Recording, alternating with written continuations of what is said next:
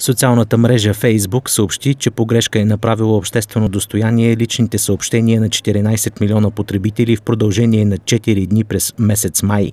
Случилото се дължи на компютърен дефект, който бил открит неодавна и който превръщал автоматично в публични съобщенията на някои хора, обясни Ерин Игън, отговаряща за въпросите на неприкосновеността на личния живот в мрежата.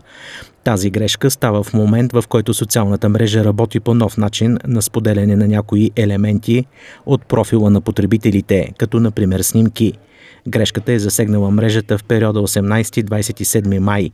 Техническият дефект е бил отстранен още на 22 май, но на компанията били нужни още 5 дни, за да превърне отново в лични всички направени обществено достояние съобщения.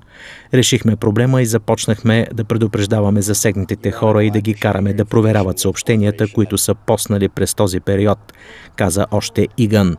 14 милиона засегнати потребители ще видят при влизането си в социалната мрежа известие, което ще ги прикани да посетят отделна страница, на която ще могат да прегледат постовете засегнати от дефекта.